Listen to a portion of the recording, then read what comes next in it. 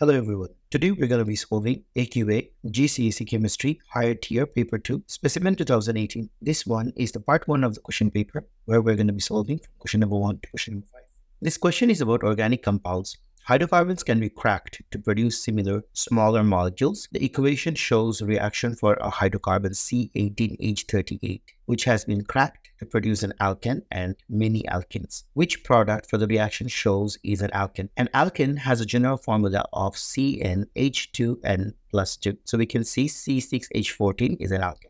Table 1 shows the boiling point flammability and viscosity of C18H38 compound compared with other hydrocarbons shown in the equation, which letters A, B, C, D shows how the properties of C18H838 compare with the properties of the other molecules. So obviously it will have the highest boiling point, the flammability will be the lowest, and viscosity is going to be the highest. The more carbon you have within your compound, the more viscous it gets. So A will be the answer. The hydrocarbon C4H8 was burnt in air. Incomplete combustion occurred. Which equation ABCD correctly represent the incomplete combustion? C4H8, all right. First of all, it must be burnt with O2 because oxygen is diatomic. So we're gonna have 4O2 and 6O2. With 4O2, we have incomplete combustion for CO and 4H2O. This is incomplete combustion. Whereas with 6O2, the CO2 produced is complete combustion. So B will be the answer.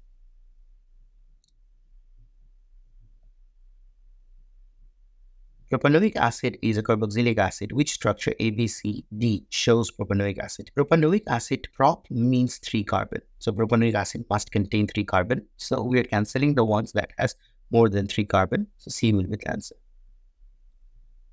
answer. Acid is formed by the oxidation of which organic compound? So if we have propanol, alcohol, if we oxidize it, we're going to get propanoic acid. For example, ethanol can be oxidized to ethanoic acid. Similarly, propanol can be oxidized to propanoic acid. Water from a lake in the UK is used to produce drinking water. What are the two main steps used to treat water from lakes? So first of all, the step one will be filtration to remove solid particles that are within the water. So we'll pass it through filter beds to remove solids. And then then step two will be sterilization. This process is done to kill the microbes and this is usually done using ultraviolet light, ozone or chlorine.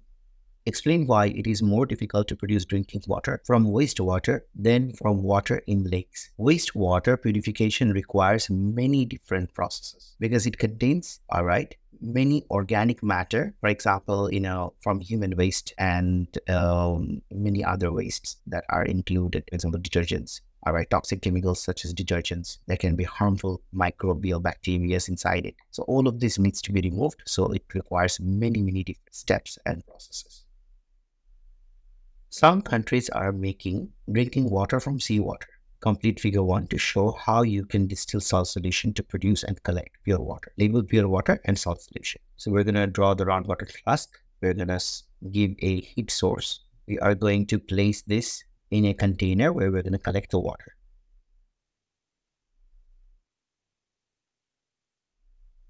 How could the water be tested to show it's pure? Give the expected result for the test for pure water. Purity of any substance can be you know, tested using boiling point. So we can determine the boiling point of the water and it should be fixed at 100 degrees Celsius. Why is producing drinking water from seawater is expensive? So because it requires a lot of energy, so energy is expensive. That's why this process is expensive. Figure 2 shows the test tubes a student set up to investigate the rusting of iron. This is the method used for each test tube. Measure the mass of nail using a balance. Leave the nail in the test tube for 6 days. Measure the mass of nail after 6 days. So we have 6 situations. Test tube number 1, test tube number 2, 3, 4, 5, and 6. Iron nail with water, iron nail with dry air iron nail with water, painted iron nail. In water, painted iron nail, scratch, and water, galvanized iron nail, scratch, and then there is water. So we can see there are six different conditions that are presented here. We will see, we can notice that there is no rusting in number two, there is no rusting in number three, four, and six. There is only rusting in one and five. What is the resolution of the balance used? We can see that balance can measure up until two decimal places, two zeros. So two zeros, for example, 0 0.01 can be written as 1 into 10 to the power of minus 2. So 1 into 10 to the power of minus 2 grams. Calculate the difference in percentage increase in mass after six days of the nail in test tube 1 and the nail in test tube 5. Give your answer to three significant figures. So for the test tube 1, what we're going to do is we're going to find out the mass, all right, uh, in the beginning of the experiment and after the experiment, 8.91 minus 8.45, which gives us 0.46. Then we're going to divide the 0.46 divided by the initial mass 8.45 and then we're going to multiply it by 100% which gives us 5.44. So this is for test tube 1. Now for test tube 2, so test tube 5, we can see it's 9.37 and 9.45. So 9.45 minus 9.37 which gives us 0.08. Then we're going to do 0.08 divided by 9.37 times 100, which gives us 0.854 percent. Now we have to find out the difference in percentage increase in mass. So 5.44 subtract 0.854. This will give us 4.59. So answer to three significant 4. 59 will be the answer. Use the results of the student's investigation to draw conclusion about the factor affecting the rusting of iron. Include an evaluation of the effectiveness of different coating at preventing rusting of so when concluding, we find out the nail rusted in test tube 1 and test tube 5. Nail did not rust in test tubes 2, 3, 4. So we can, we can conclude that the nail rusted in test tube 1 and 5. However, the nail did not rust in test tube 2, 3, 4. Test tube 2 did, did not have water present and test tube 3 did not have air or oxygen present. Whereas in test tube 4, the paint stopped it from rusting. The test tube 6 was scratched and galvanized, did not rust. So we can conclude both water and oxygen is needed for rusting. Coating that prevents water and oxygen can prevent rusting. Galvanizing is better than paint or oil. Galvanizing is most effective at stopping rusting even if the coating gets scratched.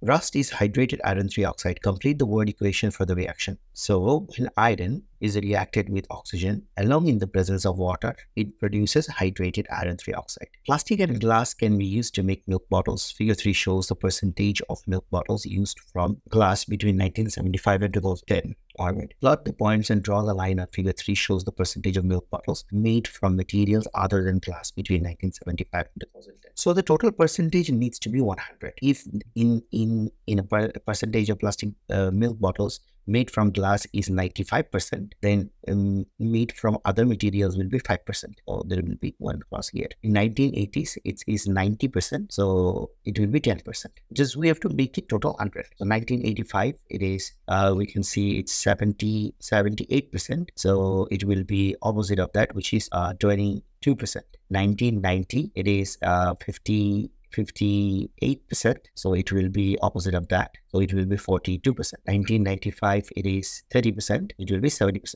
2000, it is uh, 18%. So it will be opposite of that, which is 82%. 2005, it is 10%. So it's going to be 90% or with other materials. In 2010, it's 5%. So it is 95% with other materials because the total amount of bottles made will be 100%. So easy to find out. Table 3 gives information about milk bottles bottles. When you are making glass milk bottles, we use sand, limestone, salt. Soda lime glass is made, requires a high temperature. We can use the bottle several times. We can use the bottle in only one size, which is 0.5 dm cube, and 50% of it is recycled. Whereas plastic bottles are made from crude oil, they're made from HDPE. The production is, you know, from naphtha. All right, naphtha is already a very important fraction, so it's very limited in supply. It requires high 850 degrees Celsius. Only can be used one time, but a variable range of bottles can be made, and only 10% of it gets recycled. The question is evaluate the production of use of bottles made from soda lime glass and those made from HDPE. Use the information given in your knowledge and understanding to justify your choice of material for milk bottles. Glass has two stages in the production of soda lime glass, whereas HDPE has three stages in the production. So there are fewer stages in glass production, so it can be technically quicker. Glass production requires higher temperature, so it will require more energy from fossil fuels. Glass bottles can be reused. Cleaning will cost money, however, to reuse the glass bottles whereas other glass products can be made from recycled glass. Plastic can has greater range of sizes. However, both are produced from limited raw materials. You know, glass comes from uh, soda lime glass. You know, the material is limited. All right, and a higher percentage of recycled material in glass preserves the raw material in comparison with that of the HDPE this question is about the temperature of Earth's atmosphere. Give one reason why it is difficult to produce models for future climate change. So, you know, uh, the reason why it is difficult to produce models for future climate change is mostly because of the complex systems that we have within the Earth. There are many different variables and many alternative theories that come about, all right, when actually dealing with future climate change models. Describe how carbon dioxide helps to maintain temperatures on Earth Carbon dioxide allows short wavelength radiation to pass through easily to the Earth's surface. However, carbon dioxide absorbs the outgoing long wavelength of radiation, which is basically infrared radiation. And since it absorbs and reflects back to the Earth, the Earth remains warmer.